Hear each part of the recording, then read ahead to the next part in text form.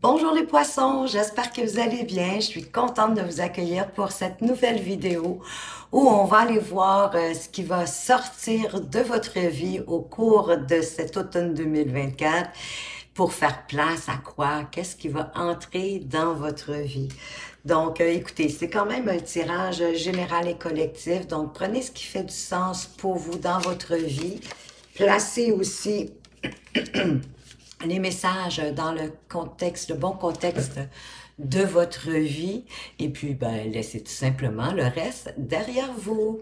Et juste avant de commencer, ben moi je veux vous remercier hein, pour toute la reconnaissance que vous me démontrez sous chacune de mes vidéos. Ça me va droit au cœur, ça me fait vraiment plaisir. Et ben je suis reconnaissante de la reconnaissance que vous me manifestez. On commence. Qu'est-ce qui sort de votre vie? L'énergie. Ben, le manque d'énergie, hein, on va se dire.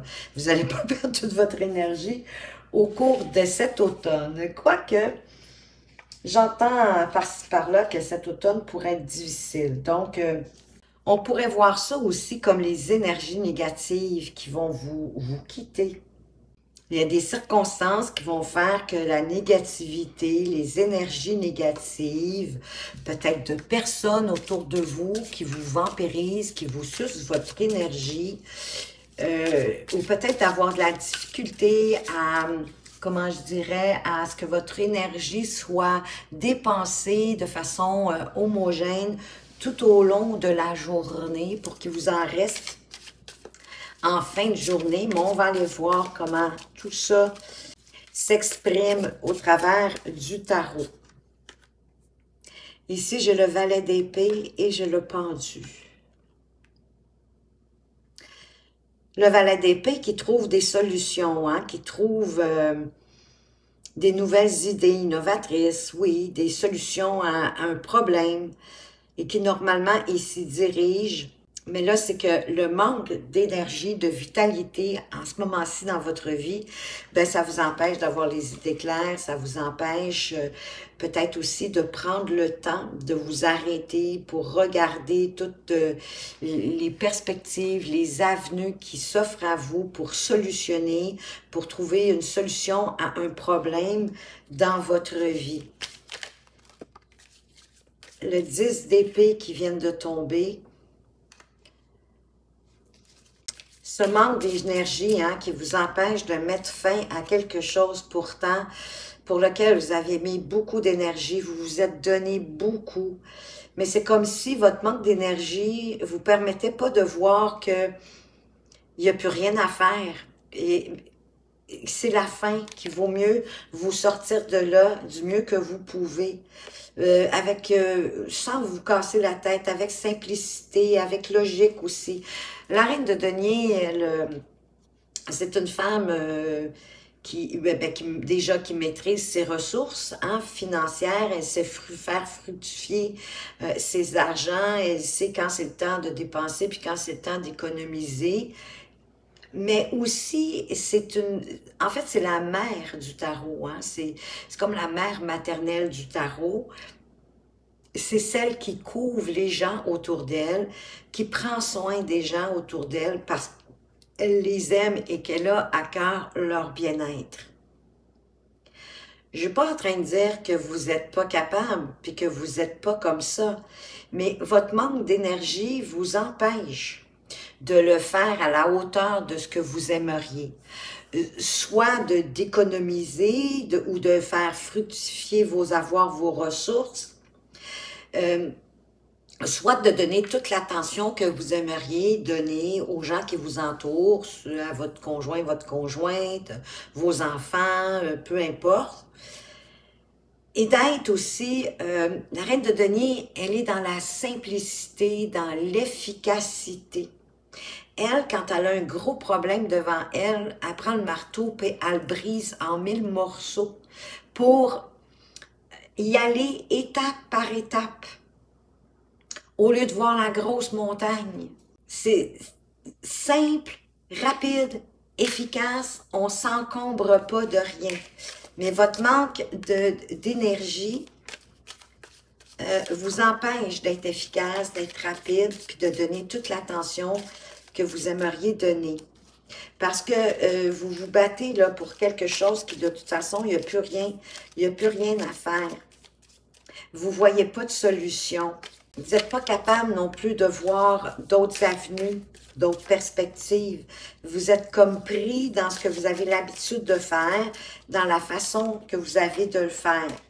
Ah ouais, puis là, vous êtes comme au bout du rouleau, là, avec ce neuf de bâton. Euh, vous êtes comme un peu méfiant, méfiante. Il y a un manque de confiance, possiblement, en vous. Euh, vous vous créez des barrières à cause de, oui, ici, l'énergie là, est vraiment confirmée avec euh, ben, le 10 d'épée puis le 9 de bâton. Parce que vous avez l'impression d'être au bout de vos forces, mais heureusement, il vous reste encore des forces pour continuer à vous battre pour euh, ce que vous voulez, pour ce en quoi vous croyez, pour réussir quelque chose. Mais vous manquez d'énergie comme pour avoir de la persévérance puis poursuivre votre but. Vous encombrez de trop, puis vous n'entendez pas votre appel intérieur pour pouvoir, euh, c'est comme une, renaissance, une révélation à vous-même. Vous n'êtes pas capable de l'entendre parce que vous êtes comme trop épuisé. Donc, en quelque part, ici, la reine de denier vous conseillerait de prendre soin de vous aussi. Oui, c'est bien de prendre soin des autres, de prendre soin des gens qui sont autour de nous, mais ça commence par être euh, optimal pour le faire. Et pour être optimal pour le faire, ben, il faut s'écouter, il faut prendre soin de soi, puis il faut savoir quand est-ce que c'est le temps euh, ben, de se reposer pour être efficace. Qu'est-ce qui rentre dans votre vie? Le pardon. Vous allez vous pardonner à vous-même, puis vous allez pardonner aux autres. Pour ce qu'ils vous ont fait, pour ce qu'ils vous ont pas fait, pour vous, ce que vous avez fait ou ce que vous avez pas fait. Pour vos souffrances, pour vos douleurs, de les écrire s'il faut, puis les brûler pour les purifier. Ensuite, en fait, c'est pour les, les, écrire, pour les purifier par le feu en les brûlant, puis ensuite en les jetant. Toutes les souffrances, tout ce pourquoi vous aimeriez vous libérer, parce que c'est ça que ça fait, le pardon de vous pardonner à vous-même et aux autres. C'est pas obligé d'être en face à face. Ça peut être euh, juste de par l'entremise de votre pensée, de pardonner aux événements, aux situations, aux personnes qui vous ont fait souffrir. Parce qu'il y a toujours la responsabilité des autres, mais notre propre responsabilité. Exemple de rester dans une relation toxique, mais c'est un choix qu'on fait de rester là c'est pas facile de partir. Je suis pas en train de dire que c'est facile de partir, mais c'est de vous mettre en mode solution pour trouver de quelle façon vous pourriez quitter. Ou si vous préférez un emploi, un emploi qui vous euh, hein, qui vous donne pas envie de vous lever le matin pour aller travailler, ben vous avez le choix de trouver un autre emploi ou de faire autre chose. En attendant, peut-être de garder votre emploi, oui, parce que vous avez besoin de vous nourrir, de, faire face à vos responsabilités que la société nous exige, de payer votre loyer, de manger, de vous habiller, etc. Mais le pouvoir est en vous de trouver un nouvel emploi. Donc, de vous pardonner, exemple, d'être resté euh, un an de plus ou deux dans cet emploi-là qui ne vous satisfait plus et qui vous fait souffrir. Pardonnez-vous à vous-même d'être resté dans là et pardonnez aussi à cet emploi parce qu'en même temps, il vous fait reconnaître ce qui est plus aligné avec vous le pardon, c'est une clé importante à manifester dans notre vie. Parce que ça crée une trêve, ça crée une libération. Si vous devez vous excuser auprès de quelqu'un, ou si ça crée une trêve, ça met fin à, une à une querelle, à un conflit, à un désaccord. Le pardon est très important aussi dans la vie. C'est pas toujours évident. Mais il faut reconnaître aussi sa part de responsabilité parce qu'il y en a toujours une. Oui, de, ben, prendre le temps de méditer là-dessus, de vous, pour euh, vous ressourcer aussi, hein, parce que là, vous êtes en panne d'énergie. Moi, je pense que la pile, ouh, est sur le bord d'être jetable, mais il faut la, faut la brancher, votre batterie, pour lui redonner de l'énergie, faire le plein d'énergie. Pour ça, ben, soit que vous méditez, mais vous pouvez faire aussi des choses qui vous font du bien. Écouter de la musique relaxante, prendre un bain apaisant, lire un bon livre, écouter un bon film. Vous savez, la sagesse, ça fait partie aussi de, de l'équilibre de la vie, hein? de savoir quand il est temps d'être en action, d'œuvrer pour ce qu'on veut, mais aussi d'être capable de se dire, OK, là, j'ai besoin d'une pause, j'ai besoin de m'arrêter, j'ai besoin euh, euh, de prendre ma soirée pour moi. Ça peut être avec vos amis, pourquoi pas, hein? D'aller voir vos amis, d'aller à la rencontre de vos amis, parce que quand on est avec nos amis, on se sent en confiance. Puis, on dirait que ça nous permet de, de, de, de, faire abandon de nos tracas. Mais pour d'autres, ça peut être de dormir, d'avoir besoin plus de sommeil, de vous coucher une heure euh, plus tôt ou de vous lever une heure plus tard selon ce que vous avez besoin, mais c'est vraiment prendre soin de vous ici d'être plus stratégique, plus astucieux dans vos, euh, dans vos stratégies, dans vos tactiques, avec prudence pour pas que ça se retourne non plus contre vous, parce que dans le 7 d'épée, il peut avoir un peu euh, de tromperie, hein, de mensonges, de mesquinerie, euh, même de vol à la rigueur. Mais ici, moi, je le vois d'avancer avec plus de stratégie, plus de structure fructueuse, hein, mais en étant prudent pour pas vous faire prendre ou pour pas que vos intentions soient mal perçues. Ou de vous alléger, hein? Ben oui. De vous alléger, euh, de voir les choses peut-être euh, un peu comme les enfants sans trop euh, vous casser la tête. Mais on va aller voir avec l'autre carte pour préciser oui, de voir la vie avec plus de légèreté, de pas voir la vie juste comme un défi, mais pour euh, comme une opportunité de grandir, d'avancer, parce qu'il y a peut-être eu une peine de cœur aussi par rapport euh, dans le passé, peut-être dans un passé récent. Euh, le 6 de coupe, c'est le passé, c'est la nostalgie, c'est la mélancolie, c'est quelque chose qui vous fait souffrir, je ne saurais vous dire encore que de pardonner à tout ça pour vous en libérer puis avancer.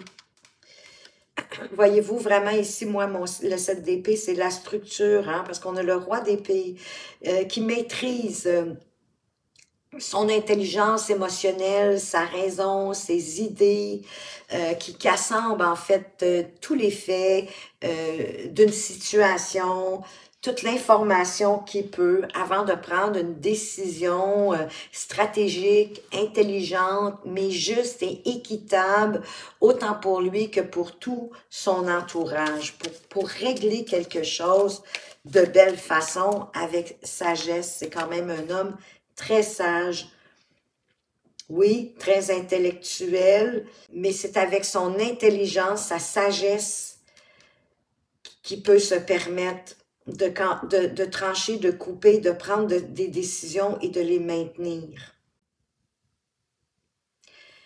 Parce que vous avez beaucoup de cartes d'épée en passant. Hein? Euh, sur euh, six cartes ici, vous avez cinq cartes d'épée et une carte de coupe, d'émotivité, de sentiment, euh, d'intuition, d'ouvrir votre cœur.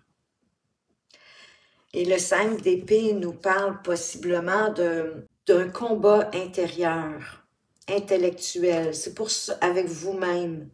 Vous vous battez comme avec votre mental. C'est pour ça que vous avez besoin de vous ressourcer. Pour laisser derrière vous tout ce qui n'a pas fonctionné.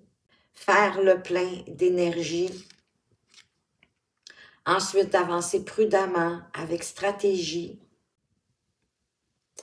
Peut-être en vous fiant à vos connaissances, à ce que vous avez appris dans le passé, quelque chose qui pourrait ouvrir votre esprit pour amener euh, plus de clarté dans votre mental. Il y a peut-être une, vérité du passé, parce que ça peut être quelqu'un du passé hein, qui rentre dans votre vie, qui revient dans votre vie, un ancien amoureux, amoureuse, qui vous a probablement fait souffrir.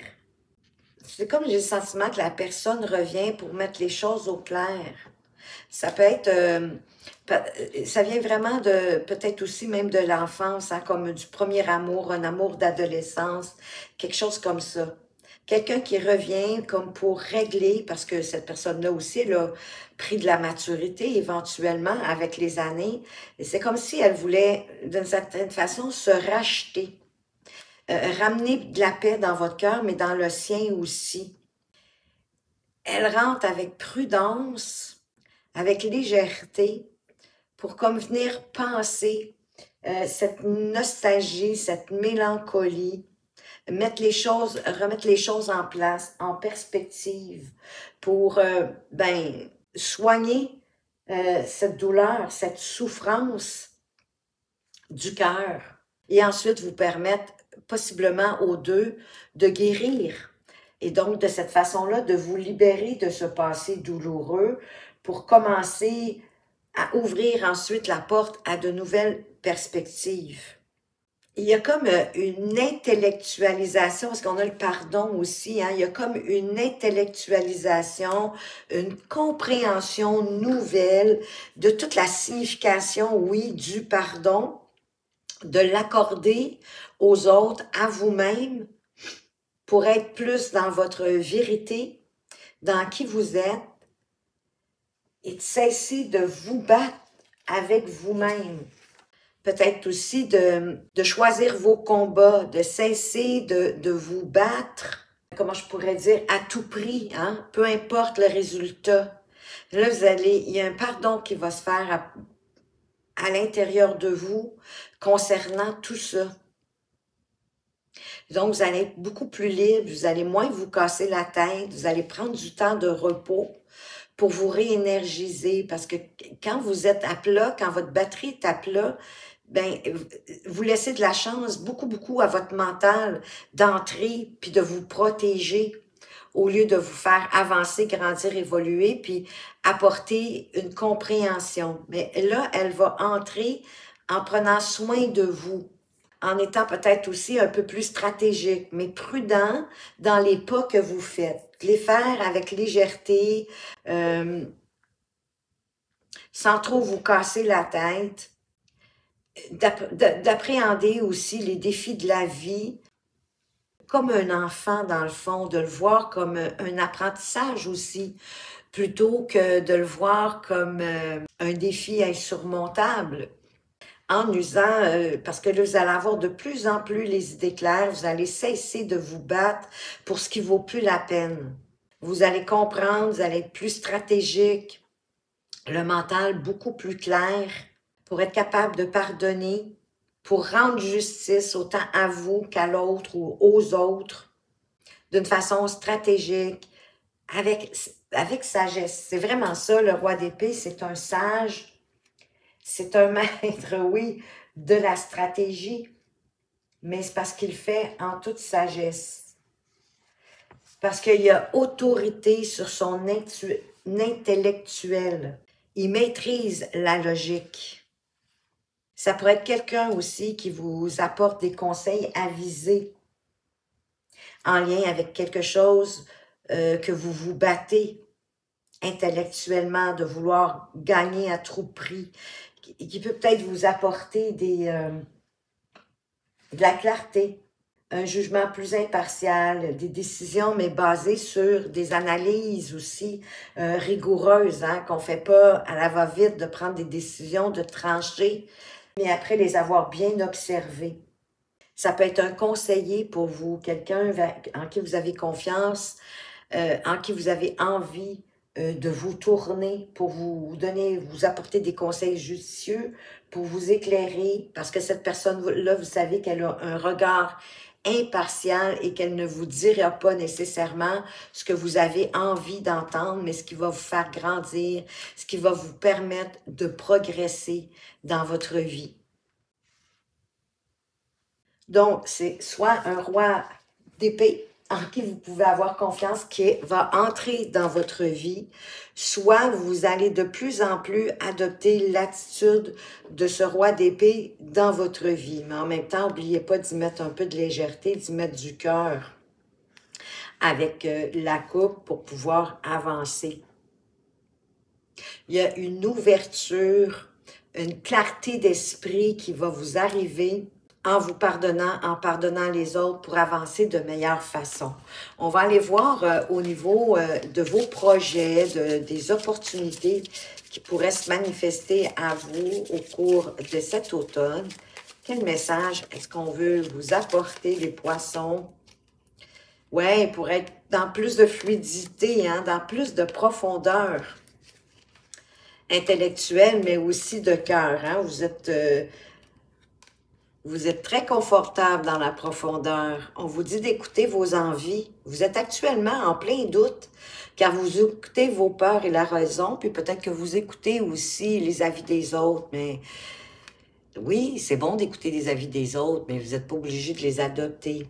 Votre âme souhaite vous transmettre le meilleur chemin à parcourir afin d'arriver vers votre plus belle destinée. Wow!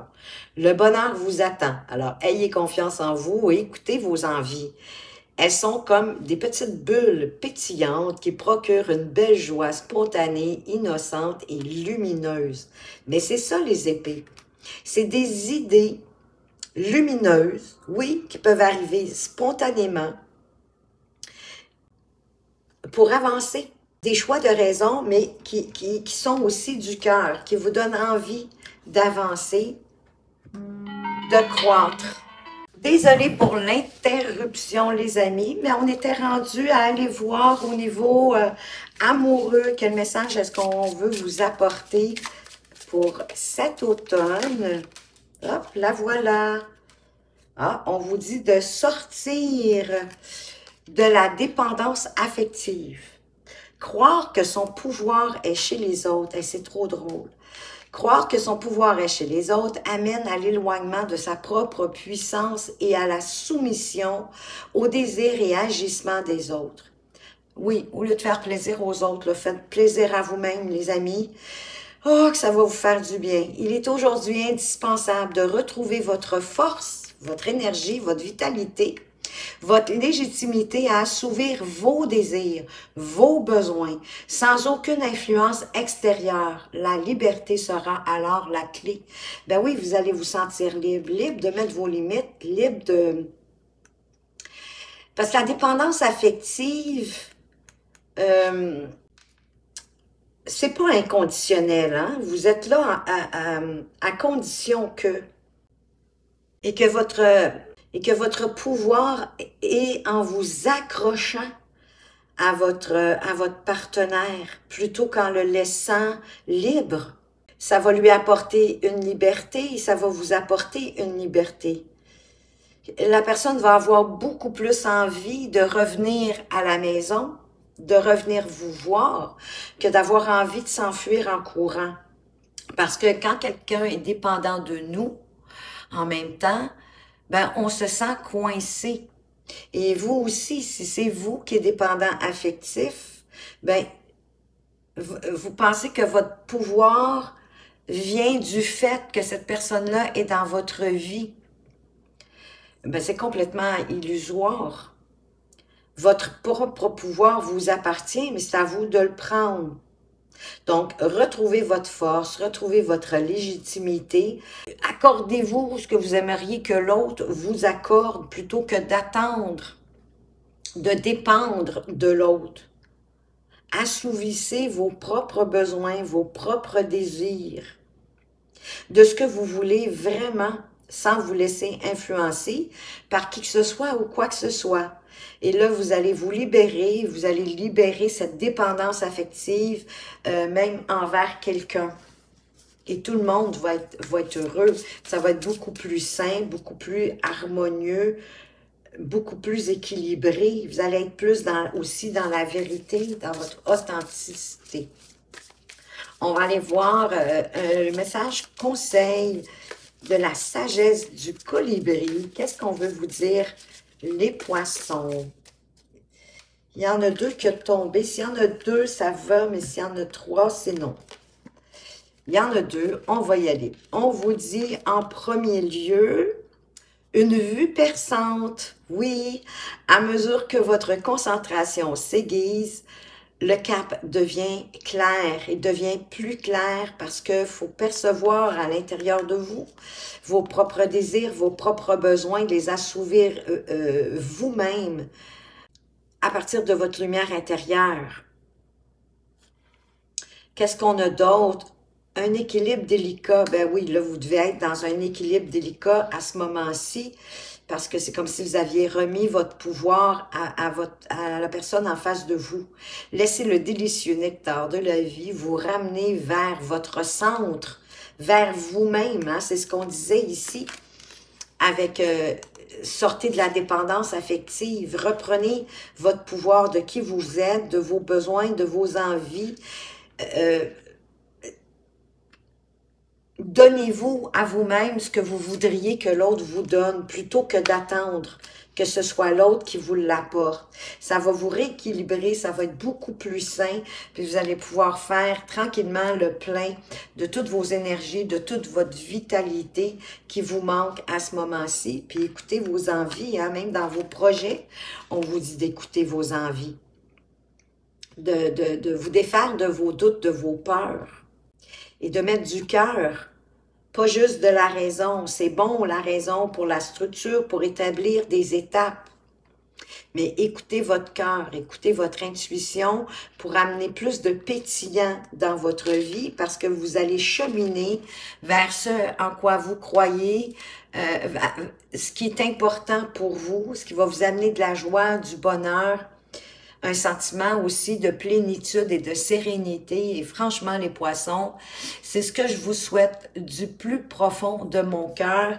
Cessez de suivre la bande, hein, parce que les, bancs de poissons, hein, c'est magnifique de les voir aller en passant, mais vous devez prendre un peu de votre individualité. Voilà. Donc, euh, ben, j'espère que ça vous a plu, ce tirage. Merci de votre présence et de votre fidélité. Ce que je voulais vous dire, c'est que je vous souhaite que le meilleur. Faites attention à vous, mais surtout, surtout, prenez bien soin de vous et à tout bientôt.